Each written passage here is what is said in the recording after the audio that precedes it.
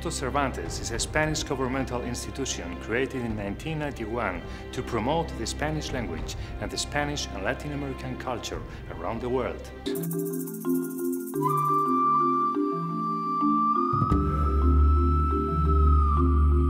The main reason why I love to be in this place is because it allows me to be in contact with my culture. I really love it here. Uh, it's a good place to work. There's always stuff going on. We have a lot of cultural events.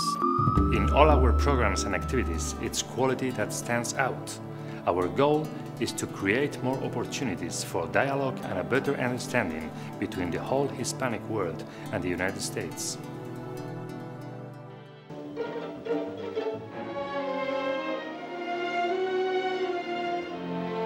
We'd like the people of Chicago to come to the Instituto Cervantes for a comprehensive learning experience of great classes, highly qualified teachers, an exceptional library, and a wide array of cultural events that match the learning process.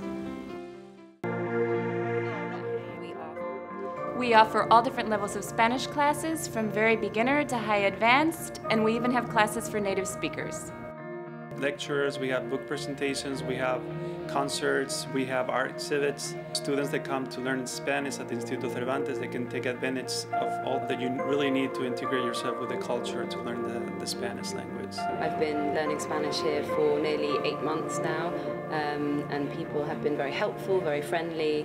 Um, the teaching here is excellent in my opinion. The library and the media room plus the, with the internet connections it, uh, it gives various, uh, so many ways of uh, brushing up on your Spanish and even speaking Spanish. If you want to come in here, there's plenty of people to talk Spanish to.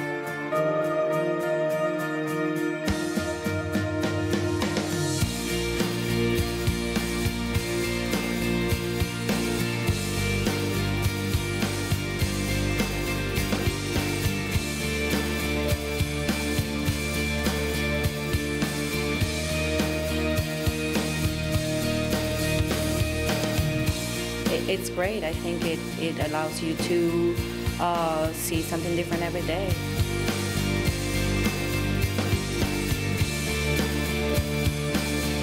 I think it's great in, for anyone that wants to uh, learn more about uh, Latin American or Spanish culture. I think it's um, you know an ideal opportunity for um, people from the US to learn about those countries on their doorstep.